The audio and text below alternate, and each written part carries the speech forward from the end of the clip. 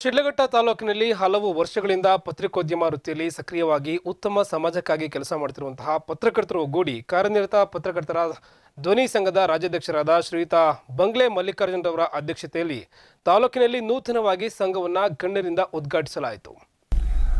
ನಗರದ ಸ್ತ್ರೀ ಶಕ್ತಿ ಸಭಾಂಗಣದಲ್ಲಿ ಆಯೋಜಿಸಿದ್ದ ತಾಲೂಕು ಕಾನಿಪ ಧ್ವನಿ ಸಂಘಟನೆಯ ತಾಲೂಕು ಪದಾಧಿಕಾರಿಗಳ ಪದಗ್ರಹಣ ಹಾಗೂ ಉದ್ಘಾಟನಾ ಸಮಾರಂಭವು ಅರ್ಥಪೂರ್ಣವಾಗಿ ಅಚ್ಚುಕಟ್ಟಾಗಿ ಆಯೋಜಿಸಲಾಗಿತ್ತು. ಕಾರ್ಯಕ್ರಮವನ್ನು ದೀಪ ಬೆಳಗಿಸುವ ಮೂಲಕ ಉದ್ಘಾಟಿಸಲಾಯಿತು.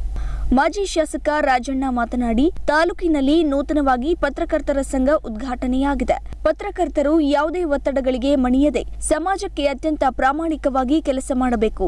ಜೊತೆಗೆ ಸಮಾಜ ಕಟ್ಟಕಡೆಯ ವ್ಯಕ್ತಿಗೂ ಸಮಾಜದಲ್ಲಿ ನಡೆಯುತ್ತಿರುವ ಘಟನೆಗಳ ಕುರಿತು ಸತ್ಯಾಂಶವನ್ನ ತಿಳಿಸುವ ಮೂಲಕ ಸಮಾಜವನ್ನು ತಿದ್ದುವ ಕೆಲಸ ಮಾಡಬೇಕು ಎಂದು ಅಭಿಪ್ರಾಯಪಟ್ಟರು. ಪಟ್ಟಣದಲ್ಲಿ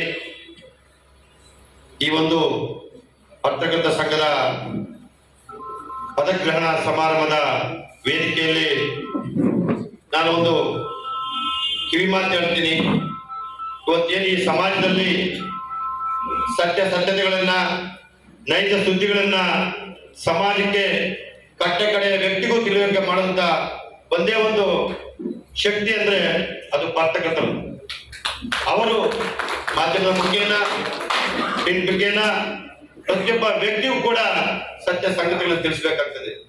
ಆ ನಿಟ್ಟಿನಲ್ಲಿ ಆಗ್ತಕ್ಕಂಥ ಬಂಧುಗಳನ್ನು ನಾನು ಮನವಿ ಮಾಡೋದಿಷ್ಟೇ, ತಮ್ಮ ವೃತ್ತಿಯನ್ನ ಯಾವುದೇ ಕ್ಷೇತ್ರದಲ್ಲಾಗಲಿ, ಪ್ರಾಮಾಣಿಕವಾಗಿ, ನೈತಿಕವಾಗಿ ಮತ್ತು ಸತ್ಯ ಸಂಗತಿಗಳನ್ನ ಸಾರ್ವಜನಿಕ ತಿಳಿಸಬೇಕಾಗ್ತದೆ. ಯಾವುದೇ ಒಂದು ವೃತ್ತಿಯಲ್ಲಿ ಒಬ್ಬ ಶಿಕ್ಷಕರಾಗ್ಬೋದು, ಅಥವಾ ಕೃಷಿಕರಾಗ್ಬೋದು, ಒಬ್ಬ ರಾಜಕಾರಣಿ ಆಗ್ಬೋದು, ಒಂದು ಯಾವುದೇ ಒಂದು ಸೇವೆ ಆಗ್ಬೋದು ಆ ನಾವು ಮಾಡೋ ವೃತ್ತಿಯಲ್ಲಿ ನಮಗೆ ಶ್ರದ್ಧೆ ಇರಬೇಕು. ಕಾಯಕದಲ್ಲಿ ಸಂಘಟನೆ ಧ್ವನಿ ಎತ್ತಲಾರದಂಥದ್ದು ಕೇವಲ ಆರು ತಿಂಗಳ ಧ್ವನಿ ಎತ್ತಿ ಇವತ್ತು ಮೂವತ್ತೊಂದು ಜಿಲ್ಲೆಯಲ್ಲಿ ಎರಡು ಸಾವಿರ ಸದಸ್ಯರನ್ನು ಒಳಗೊಂಡಂತ ನಮ್ಮ ಸಂಘ ನುಗ್ತಾ ಇದೆ. ಇನ್ನು ಕೆಲವೇ ದಿನಗಳಲ್ಲಿ ನಾನು ಮುಖ್ಯಮಂತ್ರಿಗೆ ಹಾಗೂ ಮುಖ್ಯ ಕಾರ್ಯದರ್ಶಿಗೆ ಗಡುವು ಕೊಡ್ತಾ ಇದ್ದೀನಿ. ಇನ್ನು ಕೇವಲ ಮೂರು ತಿಂಗಳಲ್ಲಿ ನಮ್ಮ ಬೇಡಿಕೆ ಈಡೇರಿಸ್ತಾ ಇದ್ರೆ ಮುಖ್ಯಮಂತ್ರಿಗಳು ಹಾಗೂ ಮುಖ್ಯ ಕಾರ್ಯದರ್ಶಿಯವರ ಮೇಲೆ ರಿಟ್ ಫೈಲ್ ಮಾಡೋದ್ರ ಮುಖಾಂತರ ನಾನು ಕಾನೂನು ಹೋರಾಟ ನಡೆಸಿ ನಮ್ಮ ಪತ್ರಕರ್ತರಿಗೆ ನ್ಯಾಯ ಕೊಡಿಸೇ ಕೊಡಿಸ್ತಂತ ಈ ಸಂದರ್ಭದಲ್ಲಿ ಹೇಳ್ತಾ ನಮ್ಮ ವಕೀಲ ಸಾಹೇಬರು ಅಂತ ಹೇಳಿದ್ರು. ಒಂದು ಯಾಕೆ ನೀವು ಪ್ರೊಟೆಕ್ಷನ್ ಅಂತ ಅದನ್ನೂ ಒಂದು ಬೇಡಿಕೆ ಈಗಾಗಲೇ ಚಳಿಗಾಲ ಅಧಿವೇಶನದಲ್ಲಿ ಇಟ್ಬಿಟ್ಟು ಪತ್ರಕರ್ತರ ರಕ್ಷಣಾ ಕಾಯ್ದೆ ಬೇಕೇ ಬೇಕಂತ ಒಂದು ಡಿಮ್ಯಾಂಡ್ ಇಟ್ಬಿಟ್ಟು ಇದು ಮಾಡಿದೀವಿ ಈಗಾಗಲೇ ವಕೀಲರುಗಳನ್ನು, ವಕೀಲರ ರಕ್ಷಣಾ ಕಾಯ್ದೆ ಯಾವ ರೀತಿ ಕೇಳ್ತಾ ನಮ್ಮ ಪತ್ರಕರ್ತರಿಗೆ ಹೆಚ್ಚಿನ ಜರೂರತ್ ಆ ಕೆಲಸ ಇದೆ.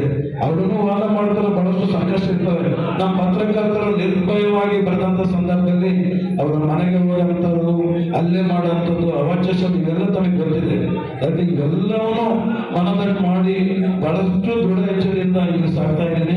ಅನಿಲ್ ಅವರಿಗೆ ನಾನು ಯಾವಾಗಲೂ ಬೆನ್ನೆಲುಬಾಗಿರುತ್ತೆ ಯುವ ಮುಖಂಡರಾದ ಸಂದೀಪ್ ರೆಡ್ಡಿ ಮಾತನಾಡಿ, ದೇಶದ ಪ್ರತಿಯೊಬ್ಬ ನಾಗರಿಕರಿಗೂ ಸಂವಿಧಾನ ಹಕ್ಕುಗಳು ನೀಡಿದೆ. ಅದೇ ರೀತಿಯಲ್ಲಿ ಮಾಧ್ಯಮಕ್ಕೂ ಸಹ ಸ್ವಾತಂತ್ರ್ಯ ಹಕ್ಕು ನೀಡಿದೆ. ಎಲ್ಲರಿಗೂ ವೇದಿಕೆ ನೀಡುವುದು ಮಾಧ್ಯಮ. ತಾಲೂಕಿನಲ್ಲಿ ನೂತನವಾಗಿ ಕರ್ನಾಟಕ ಕಾರ್ಯನಿರತರ ಪತ್ರಕರ್ತರ ಧ್ವನಿ ಕೋಟಹಳ್ಳಿ ಅನಿಲ್ ಕುಮಾರ್ ಅಧ್ಯಕ್ಷತೆಯಲ್ಲಿ ಉದ್ಘಾಟನೆಯಾಯಿತು. ಆರ್ಟಿಕಲ್ ಆರ್ಟಿಕಲ್ ನಿಮಗೆ ಫ್ರೀಡಮ್ ಆಫ್ ಸ್ಪೀಚ್ ಅಂತ ಕೊಡುತ್ತೆ. ಆ ಫ್ರೀಡಮ್ ಆಫ್ ಸ್ಪೀಚ್ ಅಲ್ಲಿ ನಮ್ಮ ಕಾನ್ಸ್ಟಿಟ್ಯೂಷನ್ ರೈಟ್ಸ್ ಅಲ್ಲಿ ನಾವೆಲ್ಲರೂ ಕೂಡ ಯಾರ್ಯಾರು ಇದ್ದೀವಿ ನಾವು ಯಂಗ್ಸ್ಟರ್ಸ್ ಇರ್ಬೋದು ಯಾರು ಅವ್ರಿಗೆಲ್ಲ ರೈಟ್ಸ್ ಇದೆ, ಹಂಗೆ ಮೀಡಿಯಾ ಕೂಡ ಅಲ್ಲಿ ರೈಟ್ಸ್ ಬರುತ್ತೆ. ಈ ರೈಟ್ಸ್ ಅಂಡರ್ ಅಲ್ಲಿ ಈ ಮೀಡಿಯಾ ಎಷ್ಟು ಇಂಪಾರ್ಟೆಂಟ್ ಆಗುತ್ತೆ ಅಂದ್ರೆ ಎಲ್ಲರಿಗೂ ವೇದಿಕೆ ಕೊಡೋದು ಆ ಮೀಡಿಯಾ ಎಲ್ಲರಿಗೂ ರೀಚ್ ಆಗ್ಬೇಕು ಅಂದ್ರೆ ಆ ಮೀಡಿಯಾ ಬೇಕೇ ಬೇಕು. There same pen is mightier than sword ತುಂಬಾ ಜನ ಗೊತ್ತಿರ್ಬೋದು, ನಿಮ್ಮ ಕಳಂಕ ಏನಿದೆ, ಆ ಅದು ಸ್ವಾರ್ಡ್ ಅಂದ್ರೆ ಕತ್ತಿಗಿಂತಲೂ ಶಾರ್ಪ್ ಅಂತ.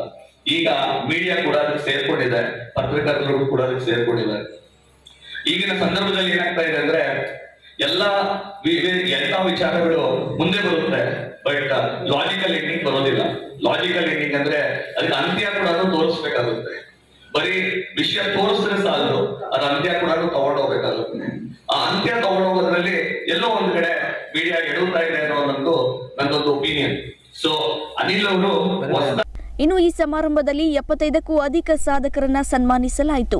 ಸಮಾರಂಭವನ್ನು ಅಚ್ಚುಕಟ್ಟಾಗಿ ಆಯೋಜಿಸಿದ್ದ ಕಾನಿಪ ಧ್ವನಿ ತಾಲೂಕು ಅಧ್ಯಕ್ಷರಾದ ಕೋಟಹಳ್ಳಿ ಅನಿಲ್ ಕುಮಾರ್, ಪ್ರಧಾನ ಕಾರ್ಯದರ್ಶಿ ನವೀನ್ ಕುಮಾರ್ ಸೇರಿದಂತೆ ಸಂಘದ ಪದಾಧಿಕಾರಿಗಳು ಎಲ್ಲರ ಪ್ರಶಂಸೆಗೆ ಪಾತ್ರರಾದರು.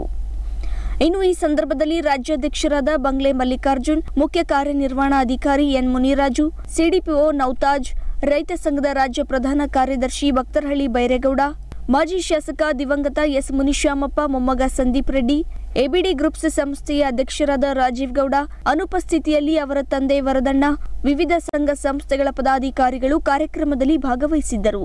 ಕೋಟಹಳ್ಳಿ ಅನಿಲ್ ಕುಮಾರ್ ಅಮೋಕ್ ಟಿವಿ, ಶಿಡ್ಲಘಟ್ಟ.